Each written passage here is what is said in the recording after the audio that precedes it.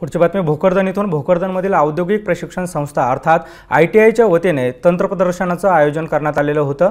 विद्यार्थ्यांनी स्वतः तयार केलेल्या विविध उपक्रमांची यावेळी माहिती दिली.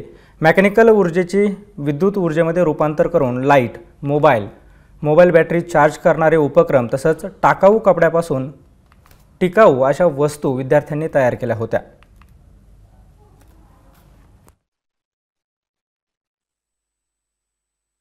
आज आमच्या इथे जे तंत्र प्रदर्शन आयोजित केलेलं होतं आमच्या विभागाने आज तंत्र प्रदर्शनाचे आयोजन करण्याविषयी कळवले असल्यामुळे आम्ही आज प्रदर्शन आयोजित केलं. त्यामध्ये आमच्या बेकर अँड कन्फेशनरी ट्रेडच्या मुलांनी आय टी एचा जो लोगो आहे कौशल्य बलमचा तो असणारा केक तयार केला.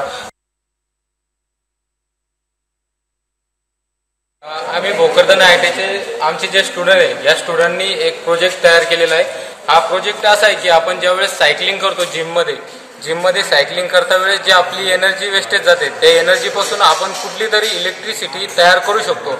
अशी आमच्या विद्यार्थ्यांनी कल्पना आणली होती की आपण असं करू शकतो सर. तर म्हटलं आपण करू. साहेबांच्या मार्गदर्शनाखाली आम्ही ते तयार केला.